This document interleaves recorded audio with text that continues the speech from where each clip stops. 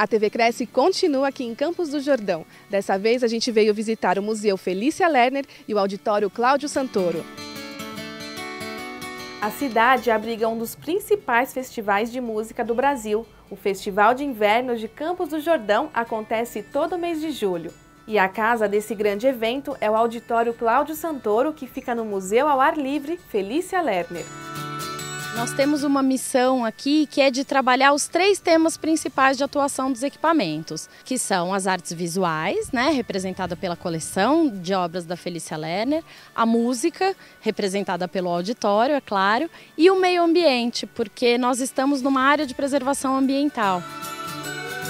A artista plástica Felícia Lerner e o músico Cláudio Santoro foram importantes personalidades artísticas, já falecidos, mas ainda com grande reconhecimento nacional e internacional.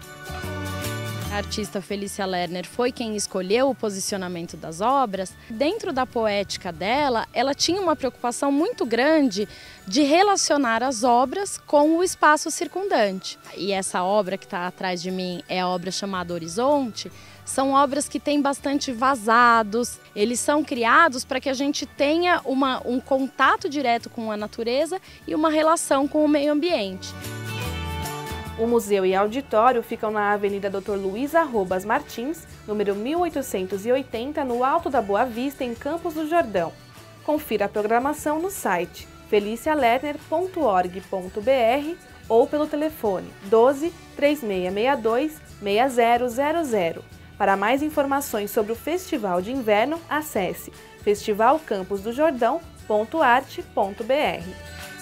Eu tenho certeza que ninguém vai se arrepender e vai vivenciar uma experiência muito única e muito especial. Venham!